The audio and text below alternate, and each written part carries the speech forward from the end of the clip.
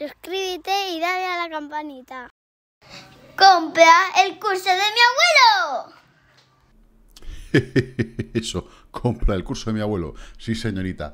Muy bien, os recuerdo que os quedan solamente unos pocos días, nada más. Eh, bien, eh, ¿Cómo ha comenzado la semana en este nuevo análisis mañanero? Pues ha comenzado bien, ha comenzado en positivo. El SP500 empieza al alza en un día raro, un día raro porque es raro, raro, porque hay media jornada, hay puente en Estados Unidos, mañana es 4 de julio, ya sabes, al que no sepa lo que es, pues nacido el 4 de julio, os recordará un poco eh, ver la película. A ver, SP500 al alza. Bitcoin está lateralizando un poquito, sigue en su zona lateral sin romper. Eh, había una posibilidad decente de que eh, rompiese la zona en la que estamos eh, ayer por la noche, hoy, pero quizás, quizás, porque vemos los volúmenes como, bueno, estamos a, no llegamos todavía a media jornada, el volumen no es bueno, no debería de ser muy grande el volumen en el día de hoy y en el día de mañana, debería ser muy similar al del fin de semana, si en algún momento va a romper alguna zona, ir arriba y abajo, pero bueno, em, vamos a ver esta tarde eh, las vigilancias que debemos de tener, eh, porque tenemos un mes un poquito peculiar, ¿vale? Entonces, bueno, mm, estamos en un punto de desgaste de diario importante, eh, creo que podría ser y podrían aprovechar un buen momento para hacer el retroceso a estos mínimos que marcamos aquí, con este punto de pivote, que las dos veces que se ha tocado, fijaros, se tocó una vez, nos fuimos arriba, se tocó otra vez, nos fuimos arriba. Y estamos hablando de diario, ¿vale? Entonces, bueno, estos cierres que tenemos aquí en los 29.500 son muy importantes. Siguiente punto importante, el 50% de esta zona que tenemos aquí marcada con este punto de pivote que tenemos aquí al alza. Mechas en torno a 28.477 y cierres en torno a 28.100 aproximadamente, ¿vale? Dependiendo del exchange, variará un poquito más, un poquito menos. Por otra parte, tenemos la línea de tendencia de mínimos, pues que sigue siendo muy fuerte, no se ha perdido. La cuestión es, si no podemos con esta zona, ¿dónde iríamos? Porque es lo que me habéis pedido medir. Pues muy sencillo. Bueno, muy sencillo. si se cumple, porque no tiene por qué cumplirse. Nos venimos a nuestro querido amigo Fibonacci, vamos de máximo a mínimo del impulso. ¿Y dónde nos manda? Pues fijaros que justo nos manda la mitad, la mitad a mi zona preferida. TP1. Vamos a marcarlo. Mm, mm, mm, ¿Dónde tengo mis herramientas? Me he perdido. Ah, la tengo aquí. Venga. Vamos a marcar el TP1 con fecha ahora, más o menos, es esa zona, ahí, ¿vale? Vamos a decirle que es un TP1, ¿vale? Un TP1, para el que no lo sepa, es un take profit, toma de beneficios, ¿vale? Un objetivo.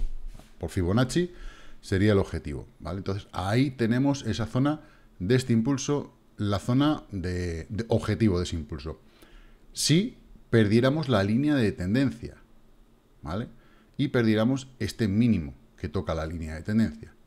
zona objetivo aquí. Y, oye, que no, y normalmente si se pierde un mínimo no se va al anterior. Se suele ir, se suele ir, pero eso ya lo veremos. De momento es un, con los datos que tenemos ahora mismo, ¿vale? Sería un objetivo. Es decir, para mí sería una zona en la que yo pondría mis compras. Porque además es una zona favorita mía.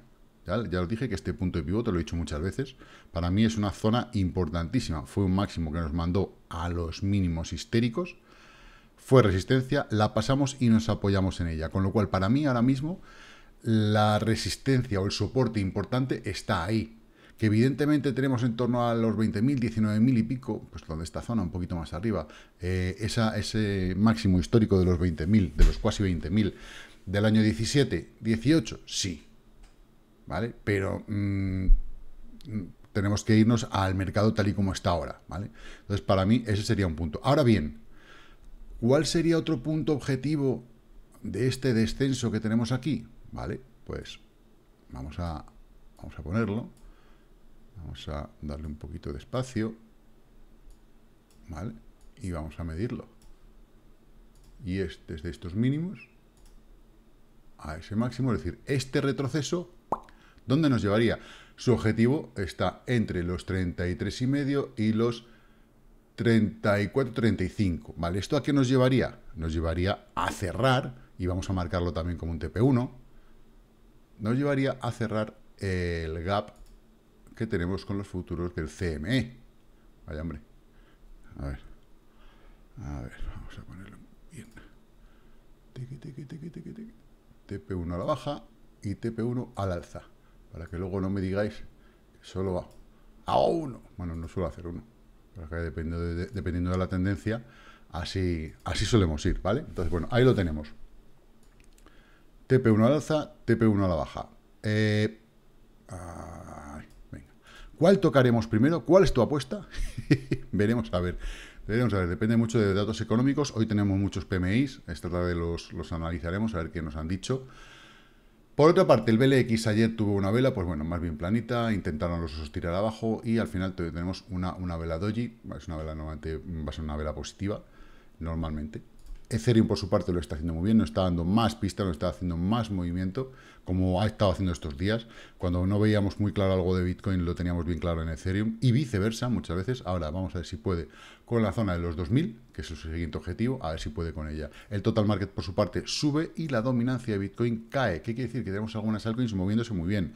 Eh, las pocas altcoins que a mí me, más o menos me gustan, la verdad es que están tratando de hacer sus, movimientos decentes. Bueno, Ripple está aquí en lo suyo, está en su, su propia batalla, por así decirlo. Y tenemos, en la parte más positiva tenemos a Celo GRT Filecoin, ¿vale? Filecoin lo está haciendo bastante decentemente, toda esta zona que tenemos que solventar está intentando llegar a ella.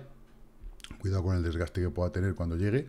Uh, Kick Badger Maker, otra de las buenas, que lo está haciendo muy bien, línea de tendencia rota, y nos vamos al alza a por la zona de resistencia.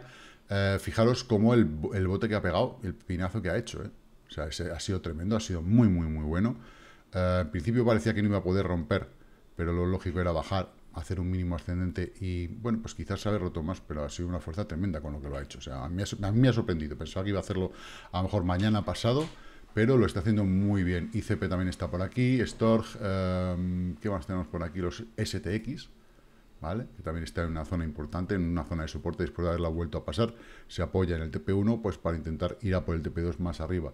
Eh, Lead, Agix, eh, Walton Chain también está por aquí, 387, Zcash también, aunque está, veis, en su partida descendente, porque poco a poco, desde que bueno, pues los Binance y toda esta gente, pues parece que dejó de interesarles las monedas de privacidad por las amenazas de los enemigos de la libertad. Bueno, pues aquí lo, tenemos de momento en este canal descendente, que a mí no me cabe duda, ¿vale? Si a mí me lo preguntáis, a mí no me cabe duda de que estas van a volver a, a dar su, su guerra, ¿sabes? Van a dar su guerra. Así que bueno, Bien, y eh, vamos a seguir aquí. Zcash, One, Mover, eh, Fed, Cadena. Cadena también anda por aquí. Así que bueno, en general bastante bien. Vamos a ver esta tarde cómo van las cosas. Vamos a terminar con Bitcoin, que en cuatro horas está haciendo una vela. Vamos a ampliarlo.